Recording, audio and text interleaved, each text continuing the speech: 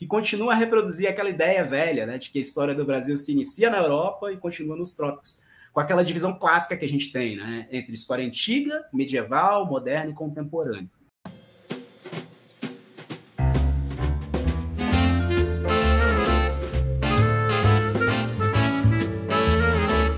Olá, boa tarde. Esse é mais um programa do projeto de extensão A História em 60 Minutos, um projeto desenvolvido no, no âmbito do Departamento de História do SERES UFRN, é, com apoio do programa de pós-graduação também do SERES UFRN e na parceria com o GT de Teoria da Ampo Brasil e da Sociedade Brasileira de Teoria e História da Historiografia, a SBTHH. Toda a divulgação do projeto, dos programas, das entrevistas, é, são a divulgação é feita pelo Instagram, nosso Instagram oficial, né, nosso perfil no Instagram, arroba 60 underline história, 60 por extenso. Lá é o canal ideal para saber da programação, quem são convidados, encontrar as entrevistas já disponibilizadas.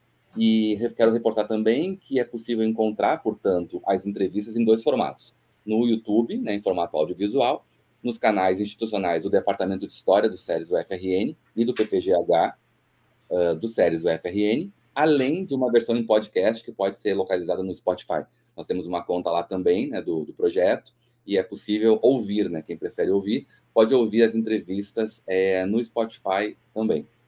Bom, dito isso, quero apresentar agora e agradecer imensamente a, a presença aqui do nosso convidado, professor Marcelo Durão, que é professor do Instituto Federal do Espírito Santo, e atualmente também faz pós-doutorado na Adam Mickiewicz University. Marcelo, boa tarde. Obrigado por ter aceitado e por estar aqui com a gente hoje. Tudo bem? Olá, Evandro. Boa tarde. Muito obrigado. Eu queria agradecer bastante pelo convite e eu fico lisonjeado por poder participar e contribuir de alguma forma com um projeto tão importante como esse, aproveitando para destacar também a relevância dessa atividade de extensão parabenizando você e toda a equipe do SERES da Universidade Federal do Rio Grande do Norte pela iniciativa.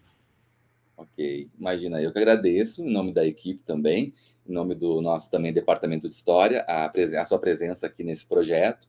É, e a primeira pergunta que eu coloco para você, né, para a gente começar a conversa no sentido bastante amplo, mas que sempre traz especificidades das experiências, né?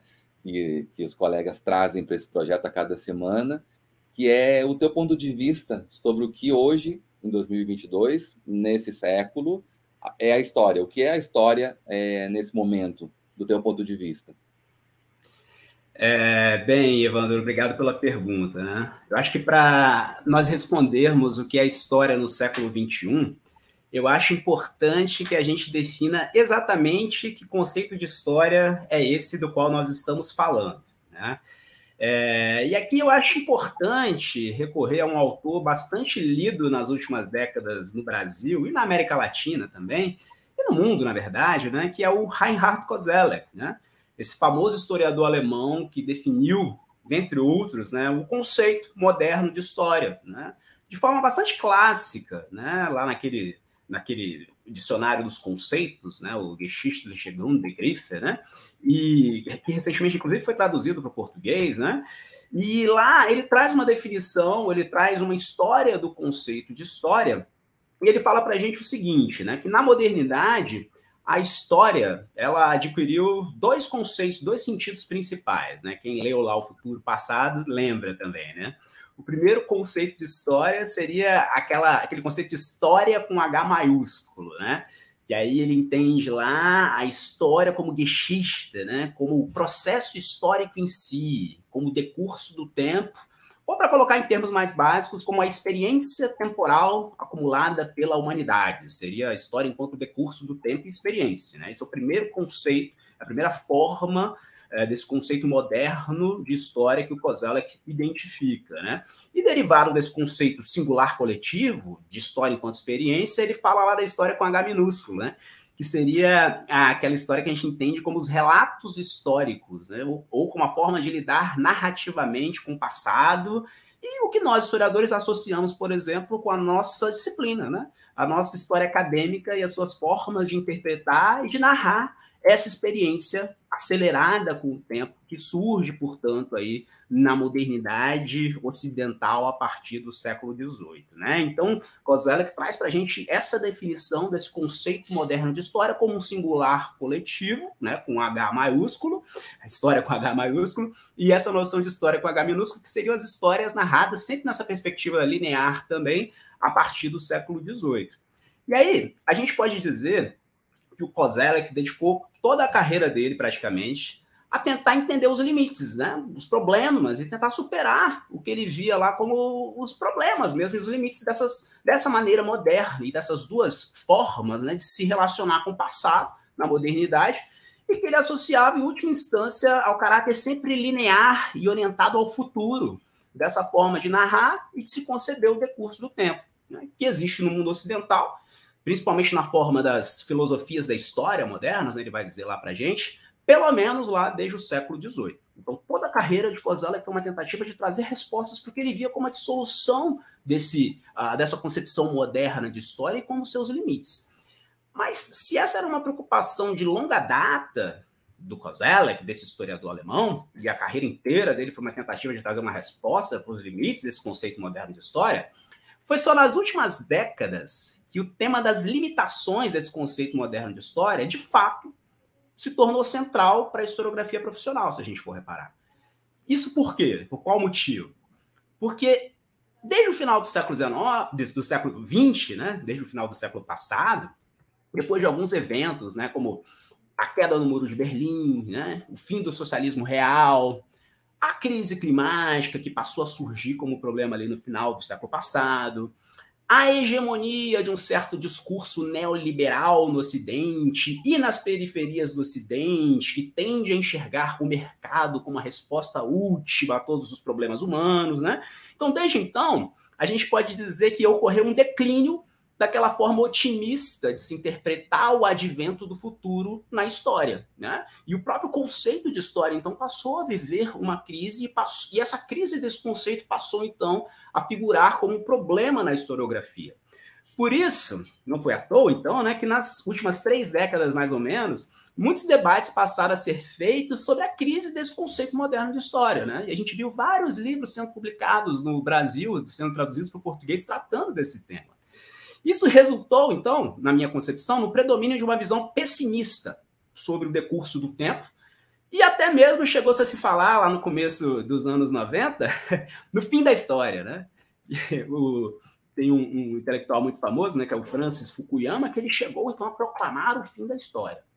Então, Evandro, eu acho que não é surpreendente que quando nós falamos sobre história no século XXI, muitos historiadores e historiadoras se preocupem com a necessidade de se pensar a crise desse conceito moderno de história, né? tentando então oferecer respostas ao que seria então esse enclausuramento dos indivíduos e das sociedades contemporâneas no que tem se chamado de um amplo presente, né? no qual as ideias de futuro e de longa duração estariam mortas, por assim dizer. E aí a gente teve vários autores falando sobre isso. Né? A gente tem os famosos aí, o François Hartog, temos o Hans Ulrich Gumbrecht falando disso, temos a Leila Asman. Então, assim, Fala-se muito na crise desse conceito moderno de história, na crise do futuro e no alargamento do presente. Por outro lado, e de forma também não tão otimista assim, né, porque o que predomina, o que parece predominar, é um, um pessimismo bastante grande nesse sentido, quando nós falamos da história enquanto relato ou narrativa, né, aquele segundo elemento do conceito moderno de história do qual nos falava o Kozelek, não é incomum que historiadores identifiquem também uma crise na forma como a historiografia disciplinar tem narrado as experiências humanas com o tempo. Afinal de contas, não é? As nossas narrativas, elas tendem também a seguir aquela mesma lógica linear, né, de conceber é, a, a, a, forma de se narrar o passado como associada a determinada concepção de tempo linear, não é?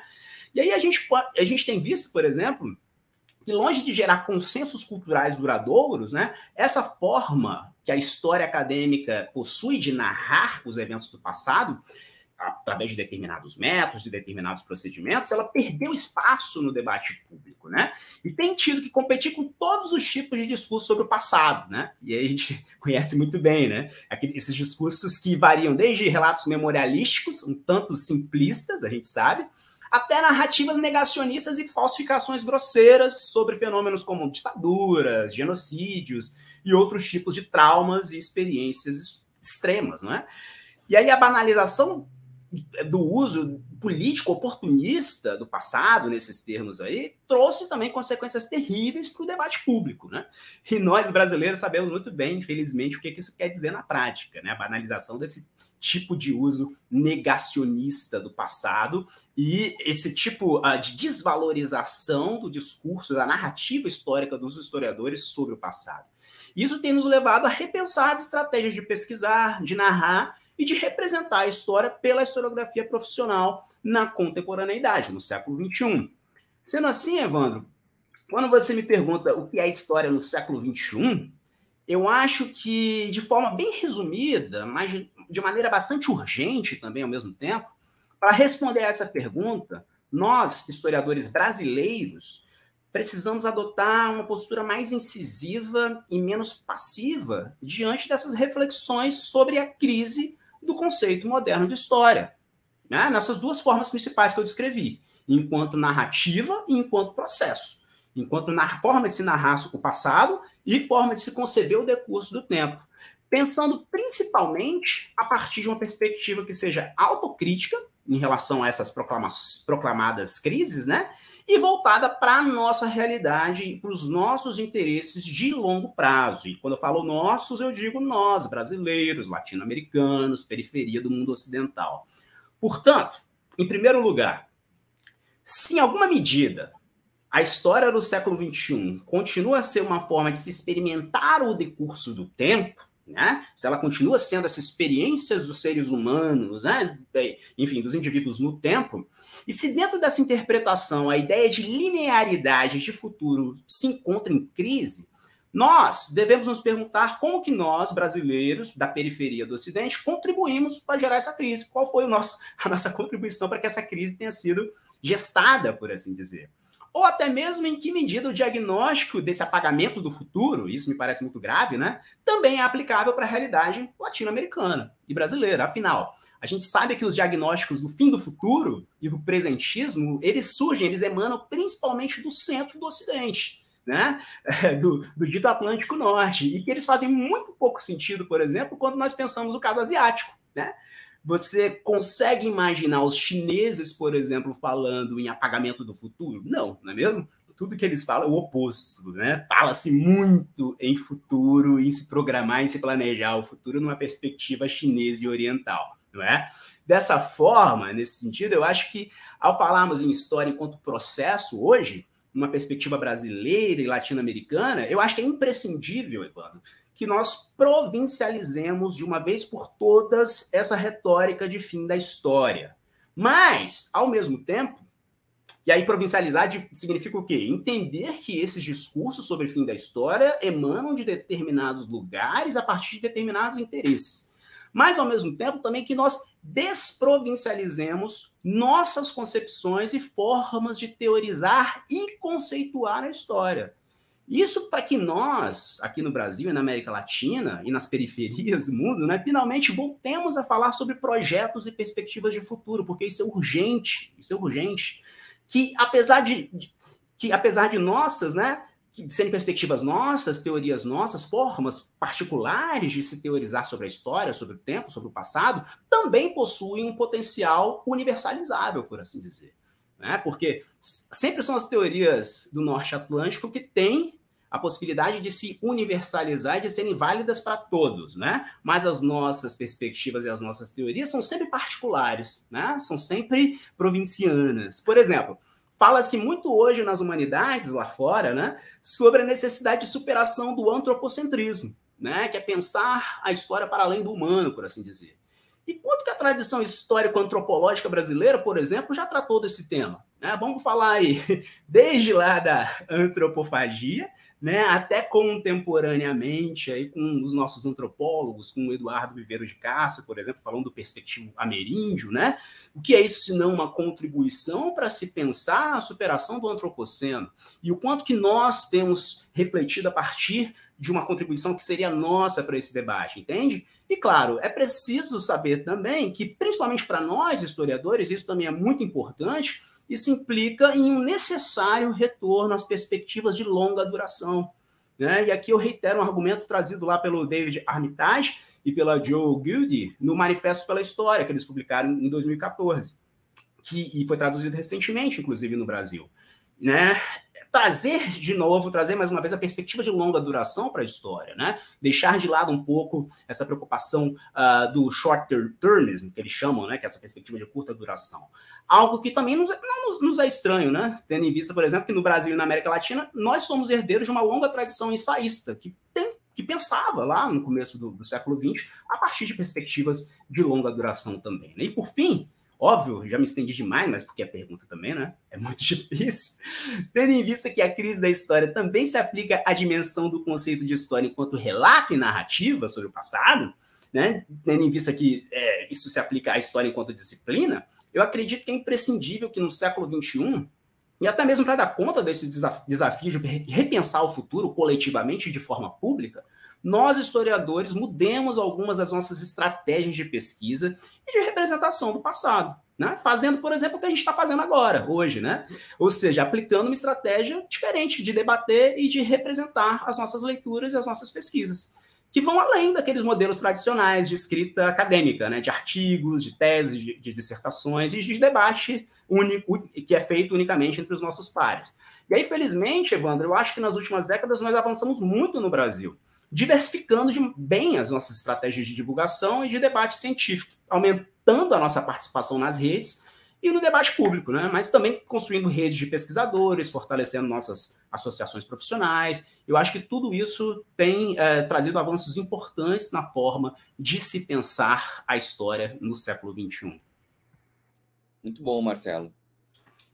Muito bom mesmo, porque você faz um. A pergunta realmente é difícil, ela é ampla e, mas você trouxe aqui um desenho, você fez uma série de paralelos muito interessantes para a gente pensar, né? Assim, é, tanto aqui, essas dimensões que o Kozalek discute, a dimensão da, da, experiência e da narrativa, enfim, né? E de como é interessante pensar como isso varia no tempo, seria, né, uma, seria esperado que isso mudaria, não tem como a manutenção daquela, daquela ideia inicial é, do século XIX se perpetuasse, né? E ao mesmo então, quer dizer, no tempo há essa variação e há essa variação também no espaço, como você mesmo disse, né? Essas discussões que envolvem a crise da, da história ou a crise da representação, a sucessão de crises, né, que se trata, partem de lugares específicos do mundo e não fazem muito sentido em outras partes. E ainda para arrematar, você trouxe o caso americano, brasileiro em particular também, de novas possibilidades de pensar isso, né?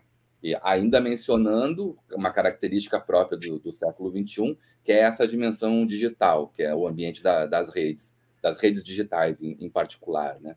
Tem outras possibilidades de rede. Achei, achei excelente assim, se é difícil mesmo de responder uma pergunta assim, mas eu acho que, de certa forma, é, a próxima pergunta que eu vou colocar para você é, tem uma tem relação, né? Talvez a gente possa é, especificar um pouco agora por um outro caminho, já que gente, você descreveu muito bem essa ideia do conceito de história, que justifica a criação da disciplina histórica dos cursos universitários no século XIX, por exemplo, né? o surgimento de um espaço de formação para pessoas que vão trabalhar com história. E a pergunta vai justamente nesse sentido, já que esse é o contexto, nós estamos fazendo aqui um. Né, você fez um percurso assim que recupera essa experiência do século XIX, século XX, para chegar nos nossos problemas atuais. Achei excelente a, a síntese que você fez a partir dessa, desses, desses recortes, né? E a pergunta é, vai nesse sentido, qual é, quais são os ganhos e perdas, então? Ou então se funda uma disciplina, né? se fundam cursos de história, primeiramente na Europa, depois se espraiam pelo mundo. Então, quais foram os ganhos e perdas, na sua opinião, em relação do, ao que é a história e, em particular, no que é a história como disciplina? Obrigado pela sua pergunta, Evandro, muito interessante também. É, eu acho que ela tem a ver, invariavelmente, Evandro, uma, com, uma reflexão sobre a história da historiografia profissional, né? E a gente sabe que boa parte dos autores que escrevem sobre esse tema, a história da nossa disciplina, eles são categóricos em afirmar algumas coisas, né?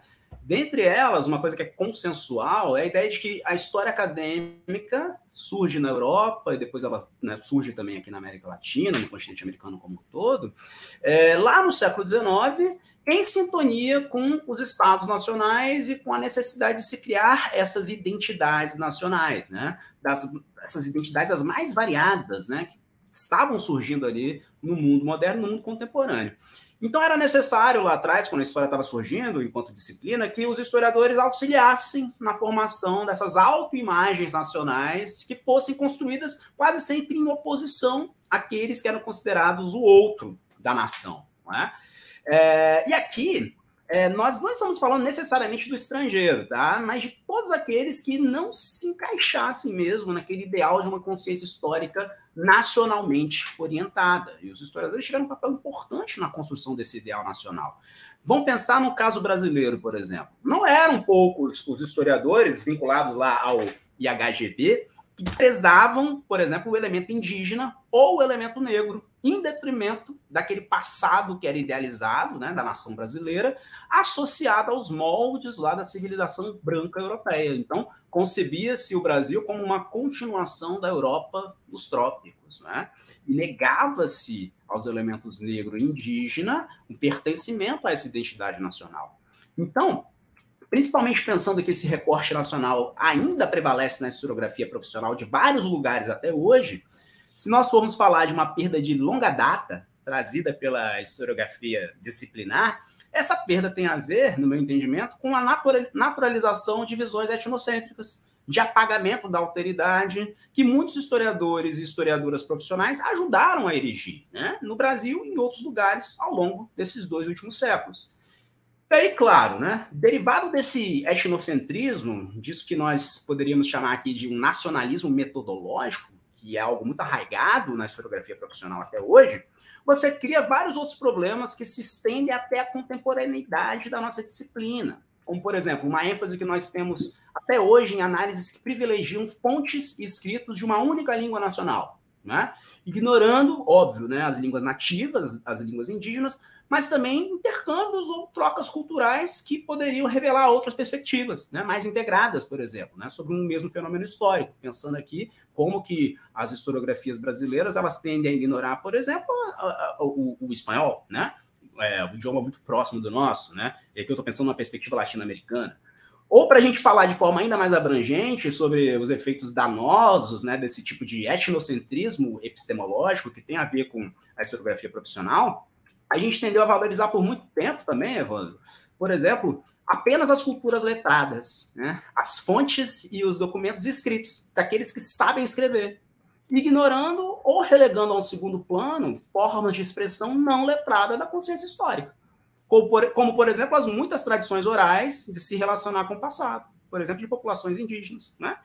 E qual é um dos resultados práticos disso? A gente tende a incorporar, e às vezes muita, muitas vezes sem perceber mesmo, aquela velha máxima hegeliana sobre a existência de povos com e sem história, ignorando, por exemplo, a relevância de sujeitos históricos que, apesar de não estarem inseridos em uma cultura letrada, possuem sim agência e importância na construção de suas trajetórias no tempo. E não é à toa que a gente tem todo esse problema, todo, toda essa visão uh, preconceituosa em relação aos povos indígenas até hoje, né? Infelizmente, apesar de avanços consideráveis que a gente teve nas últimas décadas, e aqui podemos falar, por exemplo, da arqueologia ou da antropologia, né, que trouxeram reflexões importantes nessa direção, a historiografia profissional, no meu entendimento, ainda tem muitas dificuldades em lidar de forma adequada com esse lugar de agentes históricos não letrados, tanto no passado quanto no presente. Então, seriam esses os limites, as perdas né, da historiografia profissional. Por fim, para não ficarmos só nas perdas e falarmos também dos ganhos desse processo de disciplinarização, é óbvio que eles existem, eu acho que as vantagens da história profissional se tornaram muito explícitas no Brasil nos últimos anos, né, em outros lugares também, né, que passaram por essa experiência de ascensão uh, da extrema-direita, por exemplo. Principalmente depois do avanço dos diversos tipos de negacionismo histórico. Né? além dos ataques feitos à legitimidade da nossa profissão, à nossa existência mesmo, né? E às humanidades como um todo também. Que são feitos não apenas pela extrema-direita, né? Mas por certo discurso utilitarista neoliberal, né? Que entende a nossa profissão como inútil, por exemplo. Portanto, eu acho que ficou mais fácil para os historiadores e para parte do grande público também reconhecer que, dentre outros pontos, a historiografia acadêmica possui, por exemplo, a vantagem de contar com métodos e recursos de pesquisa que permitem uma análise mais complexa mesmo dos fenômenos do passado, muito diferentes de análises superficiais de discursos negacionistas. Por exemplo, hoje em dia fala-se muito na importância do procedimento de fact-checking, né? Está na moda isso, né? Fact-checking no debate público. E o que é isso, né? O tal do fact-checking, fact checking, senão uma versão simplificada de algo que os historiadores têm feito com bastante propriedade, pelo menos desde o século XIX, né? Uma análise metódica, metodológica né, das fontes, né? Então, olha aí uma utilidade importante. Outro ganho da profissionalização da história, no meu entendimento, é a construção de uma comunidade de especialistas também, né? Sobre os mais variados temas. O que não só contribui para orientar as ações da sociedade a partir da construção de consenso sobre como agir diante das mais diversas situações, não é? Como também para que o próprio conhecimento científico se aperfeiçoe a partir desse diálogo contínuo entre os pares, né? Aquela ideia de que você avança a partir do diálogo e das correções entre os especialistas, entre os pares. Então, para resumir, para ficar só nesses exemplos, Evandro, é, eu acho que os ganhos trazidos pela profissionalização da história têm a ver, primeiro, né, com a análise e o controle metodológico de fenômenos do passado através da pesquisa, que é algo muito importante, não é? Que a gente consegue então através dos nossos métodos e da nossa pesquisa controlar o conhecimento, a forma de se entender o passado. Segundo, o aperfeiçoamento constante dos resultados da pesquisa através do diálogo entre os pares, que é o que eu mencionei, né? a comunidade de historiadores dialogando e aperfeiçoando o conhecimento. E, por fim, talvez o mais importante, Evandro, é o oferecimento de orientação. Né? De respostas para o agir humano através da construção de consensos culturais de curto, médio ou até de longo prazo pela comunidade dos historiadores. Então, em última instância, a história disciplinar ela permite que esses consensos culturais sejam construídos e que respostas e guias, por assim dizer, para orientação possam servir então como uh, uma maneira de orientar os nossos contemporâneos. Eu acho que esses são os ganhos. Perfeito, perfeito, Marcelo. Muito interessante, porque na sua resposta você aponta para dois aspectos que eu acho muito importantes. assim. Primeiro, que a disciplina se pensa e se repensa, né, constantemente, a sua resposta leva para isso. O que, que nós estamos pensando agora sobre as questões que envolvem a disciplina, né? Isso é muito importante, né? E também o fato de que eh, os resultados de uma pesquisa no campo da história são uh, trazem resultados específicos e importantes para a sociedade. Então tem uma marca de uma diferença e da relevância dessa diferença, né? Não é algo simples, não é algo banal, não é algo que pode ser descartado facilmente. É algo importante. Isso que eu gostei muito no que você enfatizou nessa resposta. E bom, falando sobre a importância da história, queria colocar a próxima pergunta. Qual é a importância, na tua opinião, hoje, 2022, do ensino de história, né? Um tema muito importante, muito sensível para nós também, a importância uh, social, política, cultural, enfim, pode pensar da forma como você preferir, mas a importância do ensino de história. E pensando, pensando nisso, como profissional também, como é que você avalia os currículos que têm formado é, professores e professoras de história nos últimos tempos?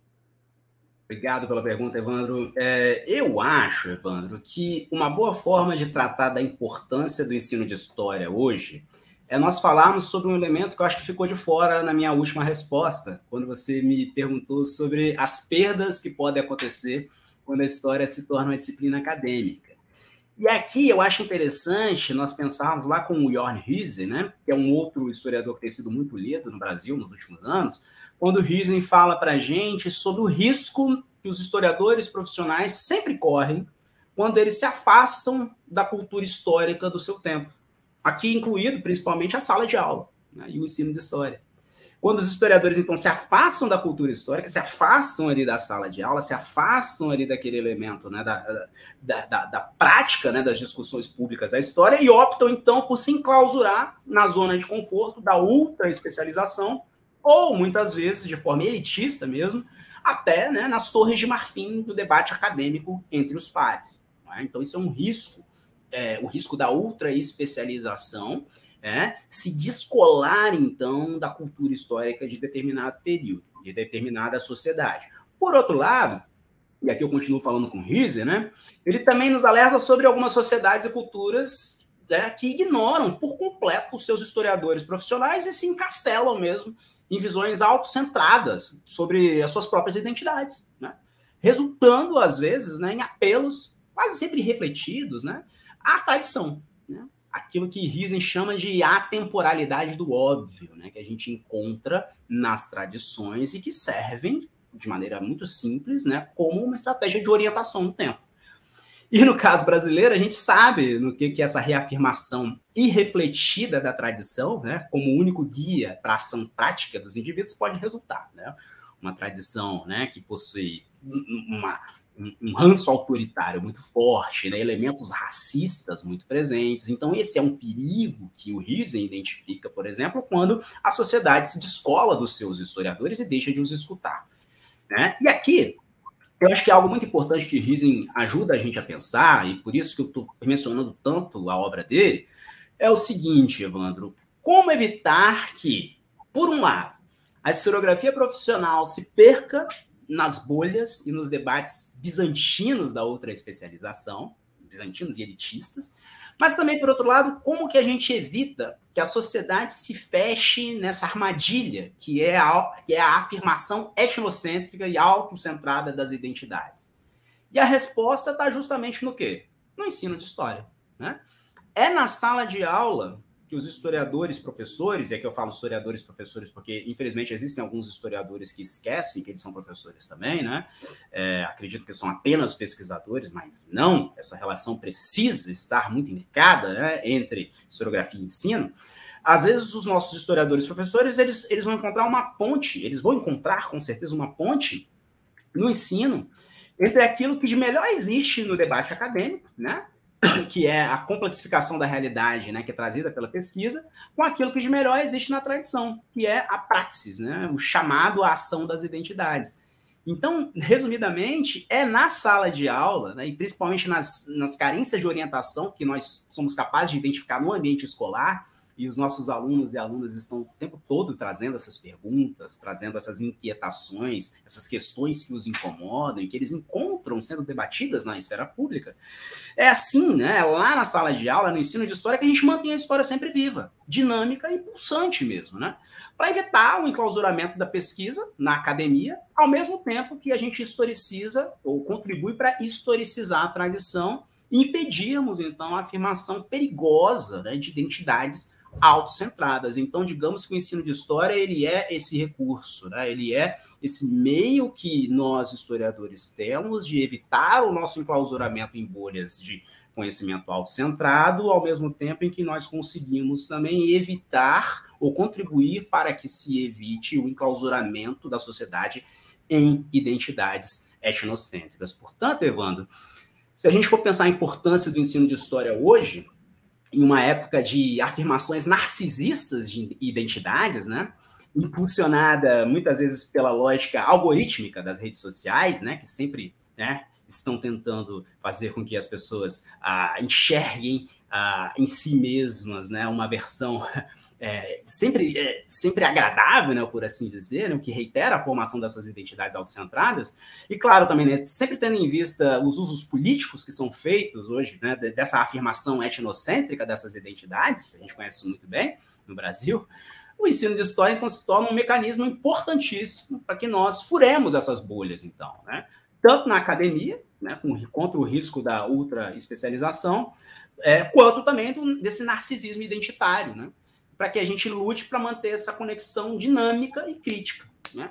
que tem sempre a ser frutífera entre a pesquisa histórica, por um lado, e a força pragmática de determinados elementos da tradição. Então, é preciso que esse encontro ele precise acontecer através do ensino de história. E nesse ponto a gente pode fazer uma conexão com a segunda parte da sua pergunta, Evandro, que eu tomo a liberdade de reinterpretar da seguinte forma, né?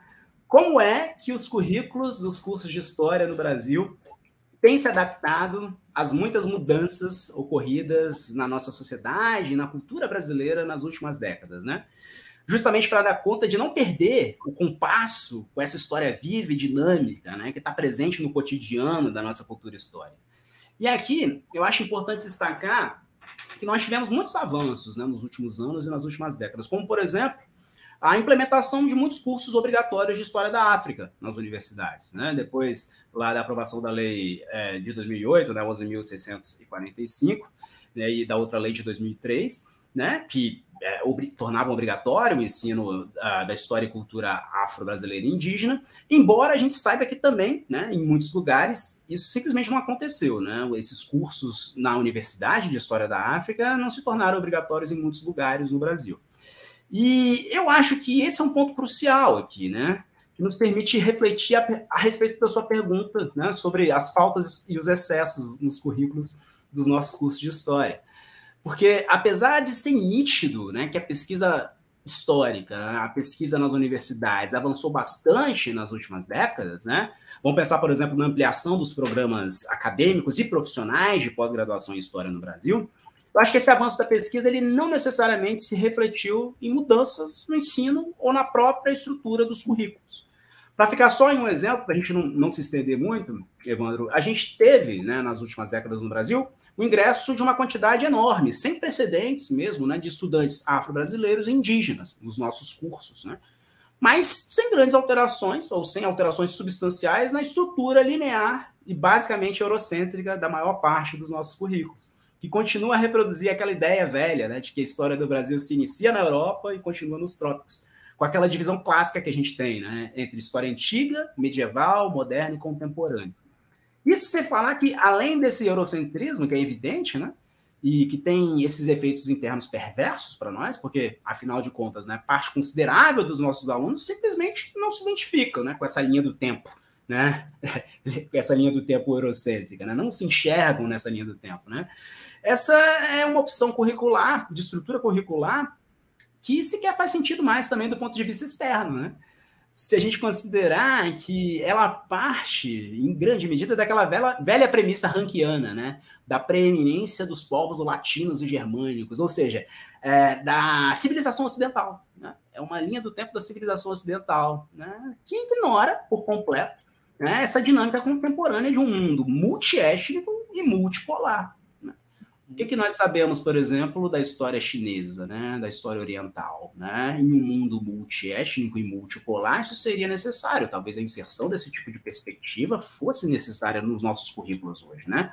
Então, só para resumir, Evandro, concluindo a minha resposta, o que sobra nos currículos de graduação em História no Brasil hoje? Primeiro, eu acho que sobra ainda uma organização curricular muito linear né, e quase que teleológica, baseada no mito de uma modernidade ocidental né, uma modernidade que é gestada a partir da Europa, né, uma modernidade intra-europeia, gestada no seio do mundo branco europeu, e como, como eu já disse, né, tem cada vez menos a ver com o corpo discente e docente né, que nós encontramos nas universidades hoje. Né. E o que falta, o que falta nos nossos currículos é um currículo mais diverso e em sintonia com o nosso próprio espaço-tempo né, no nosso território, né, com a diversidade étnico-cultural das populações que habitaram e que habitam o espaço brasileiro e americano. Eu acho que é isso o que falta, eu acho que é isso. É, são esses outros elementos o que sobra. Ok, muito bom. Eu queria agora associar duas, duas uh, questões, dois pontos, né, até por conta da tua experiência é, profissional e que eu tenho certeza vai enriquecer muito o debate aqui desse projeto. Eu queria colocar para você é, duas questões. Na verdade, é uma questão, mas a gente vai fazer, vai poder desdobrar em duas, né? Qual é o, qual o teu ponto de vista sobre o recente reconhecimento da profissão é, de historiador historiador? Tem pouco mais de dois anos, né? É por parte do Estado brasileiro, toda a trajetória de debate de décadas e de luta em torno desse, desse reconhecimento profissional de, da profissão de historiador, em particular historiador historiadora, né? E também, se fosse possível, eu queria que você associasse na, né, no, no desenrolar da sua resposta a sua própria experiência né, como professor e pesquisador de história em Instituto Federal, né? Em qual é, falasse um pouquinho sobre isso, a experiência de trabalhar nos institutos federais de educação do Brasil, né? E também, se possível, eu acho que tem um encadeamento que pode ser interessante aqui da gente pensar o que sobrou do projeto inicial, do projeto original dos IFs, né, dos institutos federais, que data de 2008. Ok, Evandro, obrigado pelas suas perguntas, né? Começando pela primeira, né? O meu ponto de vista sobre o reconhecimento da profissão do historiador, né, no Brasil. Eu acho que esse foi um ganho crucial e que deve ser visto dentro de um contexto maior de lutas que vem sendo encampadas pelos historiadores e historiadoras brasileiros e brasileiras, pelo menos desde lá da época da ditadura militar, né? Mas principalmente a partir do período da Nova República. Né? E eu acho que é bastante simbólico que esse reconhecimento da nossa profissão ele tenha acontecido em 2020, né? justamente durante, durante os governos mais negacionistas e autoritários da nossa história. Né? E o que chega a injetar na gente é até certo otimismo, né? pois aparentemente parte da sociedade civil brasileira e algumas das nossas instituições né, perceberam que em tempos de crise democrática e de ataques à nossa democracia, né, que quase sempre ocorre em recurso a esse negacionismo do nosso passado, os historiadores e historiadoras desempenham um papel importantíssimo no combate à desinformação e também na defesa das instituições e dos próprios valores democráticos. Então, acho que parte da sociedade brasileira percebeu isso, essa importância da nossa profissão, do nosso papel. Mas, é claro, né, apesar de ser um ganho que nós devemos sim comemorar, eu acho que nós não podemos nos acomodar e esquecer que o reconhecimento da nossa profissão ocorre um dos momentos mais difíceis em meio a um processo orquestrado mesmo, né, de destruição e de precarização da nossa profissão. Né? E é só a gente lembrar, por exemplo, Evandro, de retrocessos que continuam em vigor, né? como é o caso da reforma do ensino médio, né? que acompanhada lá do novo Programa Nacional do Livro Didático, né? que é uma tragédia, né? simplesmente fragmenta e descaracteriza por completo a área de história no ensino médio. Né? E vamos lembrar, por exemplo, de uma outra, é, um outro problema contemporâneo, né, que é a não aplicação, né, pura e simples, da lei do piso do magistério. Né? Ainda tem muitos professores em vários lugares do Brasil que não recebem de acordo com o piso né, que existe em lei. E aí, por isso, por esses motivos, eu acho que é crucial que nos próximos anos, né, caso a gente consiga se livrar do neofascismo e eleger um governo progressista, ou mesmo se não, né, porque a luta vai continuar de qualquer forma, que a gente continue, então, encampando essas lutas estruturais, né, como a revogação dessa reforma do ensino médio e de outras reformas neoliberais autoritárias, né, justamente para que esse importante ganho né, que nós tivemos com o reconhecimento da nossa profissão para que ele não permaneça apenas no âmbito simbólico e que ele se converta em resultados, em ganhos práticos para a nossa categoria. E aí, partindo para outra pergunta, né, quando você me pergunta sobre a minha experiência lecionando e pesquisando história nos institutos federais, e também né, o que resta lá do projeto original dos IFs lá de 2008, né, diante de todos esses desmontes, é, eu acho que uma pergunta que necessariamente nos leva a uma reflexão sobre a própria concepção e sentido dos institutos federais no Brasil. É, isso me traz a um debate que eu costumo fazer bastante lá com os meus colegas do Instituto Federal do Espírito Santo, que é o seguinte: o Instituto Federal é um conceito em disputa. Né? Como assim? É um conceito que se encontra em permanente disputa no Brasil. Não que o conceito de universidade também, por exemplo, seja um conceito que né, não, não seja disputado também, ele é também. Só que, diferentemente das universidades, né, que já possuem uma identidade, um organograma e uma rigidez institucional né, bastante sólida, se a gente for olhar, Evandro, os institutos federais, né, e muito também pelo fato de eles serem uma criação recente, né, lá de 2008, eles ainda são muito volúveis né, e vulneráveis mesmo aos ventos da política. Por exemplo, é, nós sabemos que a universidade se organiza de acordo com aquele tripé clássico lá, lá né, da pesquisa, do ensino e da extensão. Mas o que são os institutos federais? Né? São instituições de ensino? Sim, né? Mas se sim, se são instituições de ensino, de que, qual tipo de ensino? Do ensino médio, puro e simples? Do ensino técnico só? Ou um ensino integrado? E como que ocorre essa integração do ensino? Os institutos federais são instituições de pesquisa? Se sim, qual tipo de pesquisa que tem que ser feita? Qual, quais são as características dos nossos programas de pós-graduação? Eles têm que ser profissionais ou acadêmicos, entende? São também é, instituições que podem ter projetos de extensão, entende? Então, sem dúvida, sem dúvida nenhuma, há uma confusão conceitual e uma briga mesmo sobre a própria identidade dos institutos federais no Brasil. E eu acho que é preciso reconhecer, Evandro, que essa identidade meio camaleônica né, dos institutos federais, ela funcionou para o bem por muito tempo. Né? Mas, ultimamente, infelizmente, é, a gente tem tido resultados nefastos, muito problemáticos para essas instituições, esse tipo de identidade híbrida. Né? E aí você me pergunta, funcionou bem por um tempo, por qual motivo? Né? E aí eu te respondo, principalmente pelo fato de que nos institutos federais, e talvez esse seja um modelo único no mundo, tá? Eu arrisco dizer, tá? Que a gente não tem coisa igual em outros lugares do mundo, né?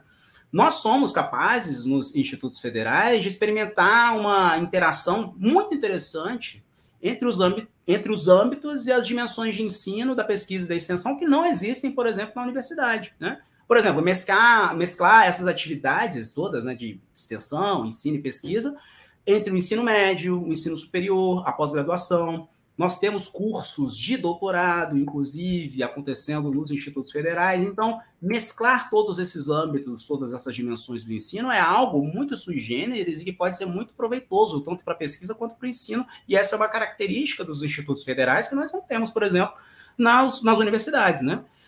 É, mas, e aí que está o problema, né? Como a lei de criação dos IFs né, é muito volúvel, né? E ela já sofreu, inclusive, várias propostas de mudança nos últimos anos, essa falta de uma identidade sólida nos institutos federais, ela tem sido utilizada principalmente contra nós, professores de história e de humanidades, né? É, tentando, por exemplo, né, se puxar e se trazer muita ênfase em uma só dessas dimensões, em uma só dessas identidades, né, que seria principalmente uma concepção bem tecnicista e limitada do ensino, né, pensando a instituição só para formação para o mercado, por exemplo, uma formação bem técnica, geração de mão de obra, né, e aí, essa, essa dimensão, esse conceito de Instituto Federal bastante restrito, é um conceito que tenta precarizar o nosso trabalho e tenta dificultar a execução de atividades como pesquisa e extensão. E aí, só para te dar um exemplo, Evandro, do que, que eu estou querendo dizer aqui, quando eu entrei no Instituto Federal, em 2017, tinha uma resolução que determinava uma carga horária máxima de aulas que eu poderia ofertar. Se eu não me engano, eram lá 20 horas por semana. Hoje, essa mesma resolução foi alterada e ela requer uma carga horária mínima de 14 horas semanais em sala de aula. Né? Então, é claro que essa é uma medida que tenta prejudicar, tenta desestimular, em muitos casos até inviabilizar mesmo as nossas atividades de pesquisa e de extensão. Enfatizando-se o quê? Só a dimensão do ensino, ensino concebido aqui como ensino técnico, né? como voltado ao mercado de trabalho. E eu acho que isso resume bem né, o meu ponto sobre como essa ausência de uma solidez na identidade e no, e no propósito dos institutos federais ela pode servir para prejudicar a atividade de docentes com visões mais amplas sobre a missão institucional dos, dos, dos institutos federais, né? É, como, por exemplo, essa defesa que eu faço né, de uma interação que tem que ser, que tem que haver mesmo entre a pesquisa e o ensino. E aí, só para concluir, né, para você, você me perguntou sobre como é ensinar história nos institutos federais, eu acho que essa mesma lógica da instabilidade do conceito de Instituto Federal, ela se aplica também no que diz respeito especificamente ao ensino de história nessas instituições. Né? Afinal, né, a vitória desse conceito tecnicista e ultraliberal de Instituto Federal acaba resultando, dentre outras coisas, num afastamento gradual do ensino de história né, das dimensões da pesquisa e da extensão. Então, você tem uma ênfase no ensino, concebido de forma cada vez mais pragmática e tecnicista, e um afastamento das possibilidades de diálogo com a pesquisa e com a extensão. Só para lembrar que nós também fomos afetados pela famigerada reforma do ensino médio, e que foi uma reforma que contribuiu para esvaziar os conteúdos de história, né, que nós lecionávamos e que nós fomos formados para lecionar, não é?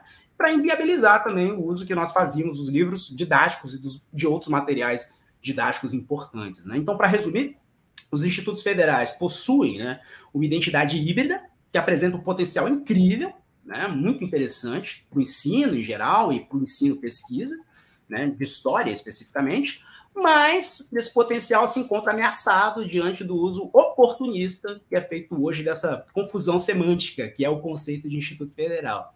E, portanto, Evandro, né, eu acho que cabe a nós, professores e à sociedade civil, resistir a esse oportunismo e reiterar a necessidade da gente pensar de forma programática essa identidade híbrida, né, plural e democrática né, dos institutos federais que a gente tem aqui no Brasil.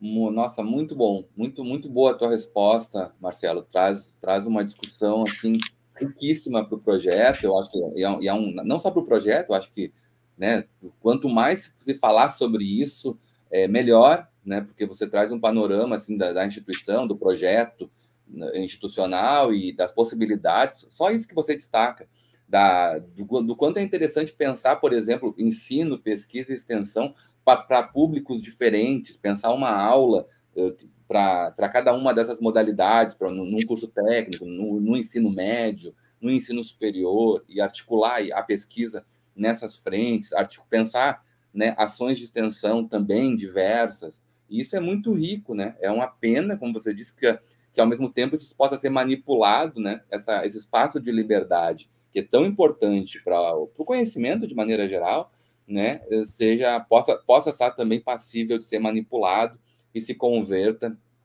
é, em um prejuízo imenso para todos, né, porque é, você traz o ponto de vista dos profissionais de história, né, é, mas seguramente é uma perda geral, talvez não seja percebido por todas as áreas, mas é uma perda generalizada. Gostei muito da, da contribuição.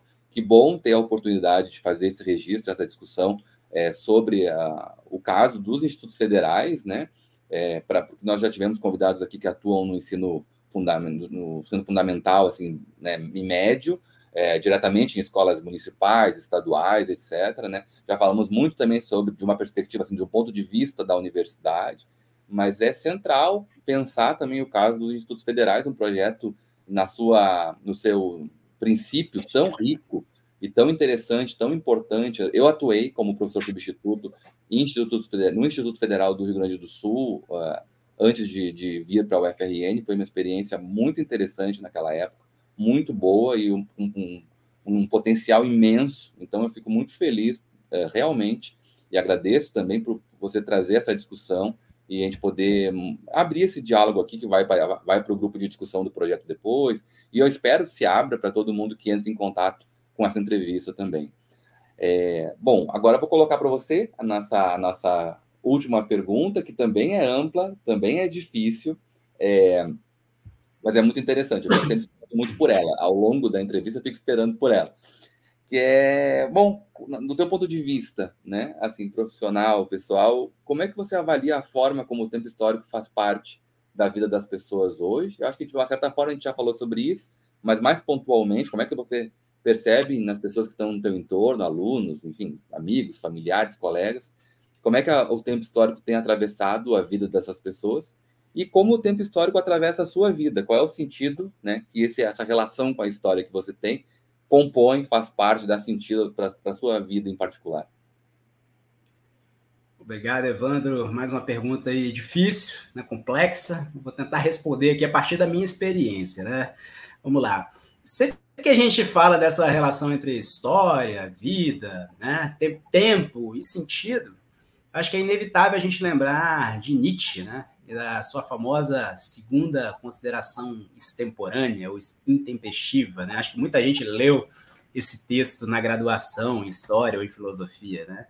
Só que muitas vezes né, a gente esquece que o que Nietzsche estava fazendo naquele momento, né, que era pensar nesse texto lá, a relação entre vida e história, era uma coisa muito comum, né? Era algo que é, continuou, né? Era já e continuou sendo muito comum nessa tradição alemã de pensamento histórico e filosófico, né?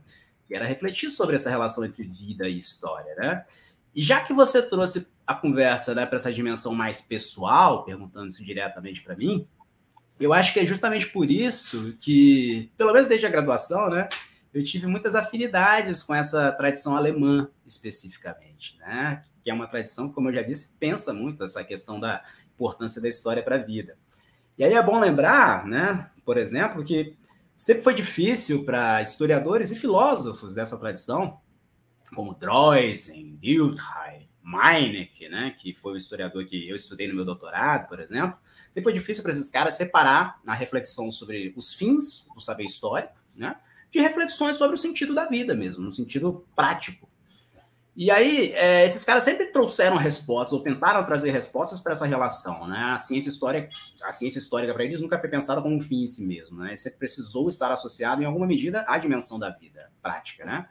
E aí depois, um pouco mais tarde, né, foi lá o Heidegger, né? Foi esse filósofo aí que radicalizou esse debate, né?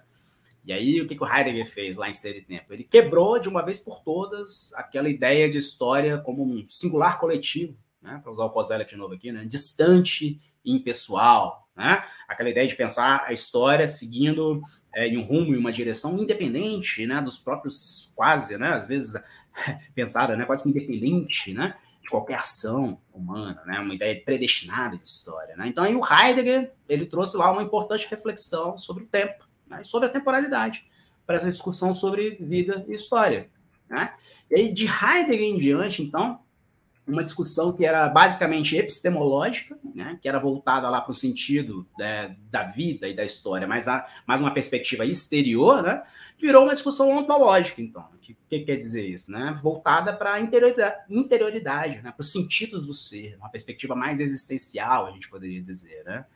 E aí foi nesse momento que a história, né, entendida com, como um H maiúsculo, eu falei disso na, na minha primeira resposta, a história entendida como como a processo, né, virou historicidade. Né? Então a Geschichte virou Geschichtlichkeit, né? causando então uma quebra naquele conceito de história entendido de forma impessoal. Né? E aí depois não demorou muito para que autores como Kozelek né, antropologizassem essa reflexão sobre o tempo e historicidade, e aí fazendo com que os historiadores não esquecessem mais né, que esses conceitos aí de tempo e de história, eles nunca podem ser entendidos de forma descolada, né? a partir de uma perspectiva totalizante, né? de um a priori universal, né? quase que independente né? das ações humanas. Né? E aí, finalmente, né? foi nessa mesma toada aí que historiadores mais recentes, mais contemporâneos, como o Riesen, né?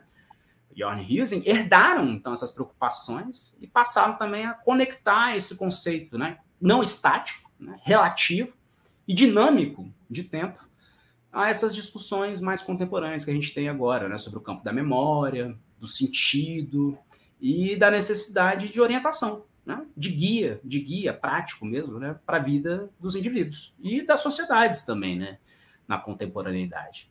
E por que, que eu fiz essa volta toda aí? Né? Porque quando você me pergunta, Evandro, de que forma o tempo histórico faz parte da vida das pessoas, eu recorro a esse breve histórico, né, desse debate sobre esses conceitos, nessa tradição aí alemã, para te responder o seguinte: eu acho que, em última instância, é impossível conceber a própria existência humana sem um recurso à ideia de tempo. Né? É impossível conceber a nossa vida e a nossa existência sem recorrer a essa memória elementar mesmo, que define e organiza aquilo que nós somos. Como assim, né? O antes e o depois, o que eu fiz antes, né? o que eu vou fazer depois, o ontem e o hoje, né? o amanhã, né? quem sou eu, onde eu nasci. Todas essas são perguntas que envolvem conceitos e relações básicas com o tempo. E aqui eu estou lembrando de um filme que eu sempre recomendo para os meus alunos, né, para explicar esses conceitos, que é aquele, aquele filme Memento, lá do Christopher Nolan, né, que foi é, traduzido no Brasil como Amnésia, de 2001, né, que é um filme que trata exatamente disso, de um cara que ele perde a memória, né, ele tem um acidente, não vou trazer spoilers aqui, claro, né, mas basicamente o que, que é a história do filme? Um cara que não tem memória, né, um cara que não consegue se relacionar com o próprio passado dele. E aí, basicamente, o filme mostra esse sujeito desnorteado e sendo enganado o tempo todo por todas as pessoas. Então, memória, né, e tempo né, historicidade, história, eles são cruciais para a existência humana, né? na medida em que nós utilizamos esses conceitos de tempo para nos orientar o tempo inteiro. Ao mesmo tempo, claro, para além dessa dimensão existencial básica, né, existe também uma dimensão compartilhada, socioculturalmente construída do conceito de tempo, que está relacionada a uma perspectiva mais coletiva de memória, né? e que é basicamente o objeto principal e o que dá sentido para a existência da nossa disciplina. Né? Quando nós nos perguntamos, a nossa disciplina é história, né? Quando nós nos perguntamos, né, quem somos nós, os brasileiros, quais as origens de tais e tais aspectos e problemas da nossa sociedade, por que nós somos atrasados nestes naqueles elementos, mais adiantados naqueles outros pontos, enfim. Tudo isso são perguntas que têm a ver com o tempo, né? E como é impossível, no meu entendimento, separar essas duas dimensões, né, a dimensão básica, ontológica ou existencial, né, sobre o tempo e sobre a história, dessa visão sociocultural e mais epistemológica desses conceitos de tempo e de história, eu diria que o sentido da história para minha vida, Evandro, é a tentativa constante de conjugar de forma equilibrada essas duas dimensões. Né? Essa dimensão mais ontológica com essa outra dimensão mais epistemológica. Né? A mais existencial e a mais sociocultural desses conceitos de tempo e de história. Isso com qual objetivo? Com o objetivo de estimular em mim e naqueles que me cercam, né? mas principalmente nos meus alunos, uma visão solidária e não mesquinha, individualizada e mercadológica daquilo que nós somos, né? daquilo que o ser humano é. Porque, afinal de contas, todas uh, essas tendências que nós vemos hoje na contemporaneidade, não é? De tentar se uh, negar, de, de, tentar se afirmar, ou de negar a, a importância da nossa disciplina, elas partem muito do pressuposto de que a humanidade possui uma essência ruim, não é? De que a humanidade a todo tempo caminha para a destruição né, do conceito de sociedade. Eu acho que, no meu entendimento, a história e o tempo e essa relação da história do tempo com a vida, ela deve funcionar para que a gente caminhe na direção oposta né, e tente construir uma visão mais solidária desse conceito de ser humano e de humanidade. Eu acho que seria isso. Excelente. Excelente resposta, gostei muito, Marcelo. Muito, muito boa. Muita coisa para pensar a partir disso que você falou agora. É, e gostei muito da referência ao Amnésia, que é um filme. Achei bacana também, porque é um filme. Eu adoro esse filme também, gostei muito de, de assistir. Assisti mais de uma vez, claro. E é um filme do início desse século XXI, assim, né? E ele anuncia prenuncia de uma certa forma pela via da ficção ali, isso que você falou, abrir mão de um relacionamento com o passado, ou no caso dele ali, né, não ter esse acesso por acesso por um dado ali, enfim, médico, biológico, enfim, é muito perigoso, né?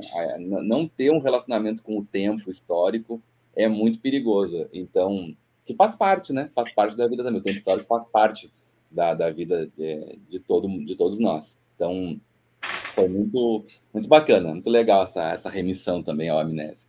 Bom, chegamos ao fim, então, dessa, dessa nossa entrevista, né, de mais uma entrevista do projeto, a História em 60 Minutos. É, quero reforçar, então, que as entrevistas entram sempre às sextas-feiras, às 17 horas, ficam disponíveis né, nos canais institucionais no YouTube né, da UFRN, do Departamento de História de Séries UFRN e do PPG-HC, né, que é o nosso programa de pós-graduação, além do, da versão podcast no Spotify. Muito obrigado, Marcelo, pela disponibilidade, por ter participado aqui dessa entrevista. Foi excelente e espero que a gente tenha outras oportunidades de conversar.